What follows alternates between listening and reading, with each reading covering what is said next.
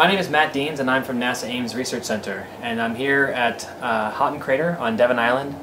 part of the HMP 2010 project team. Um, we are working with these K-10 robots from NASA Ames looking at robotic follow-up and the idea is that rather than thinking of a robotic mission as standing alone apart from human missions or human missions without robotics, we're trying to learn new ways to integrate humans and robots into more productive teams. And the idea is that last year there were some scientists who came to HMP and did some field work with a ground penetrating radar and with some field geology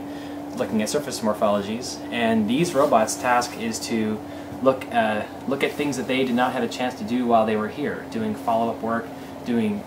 surveys of the areas where the astronauts went and, and did their field work in a limited time that they had, and trying to add more to the knowledge of what they discovered while they were here using, leveraging the things that they found while they were here.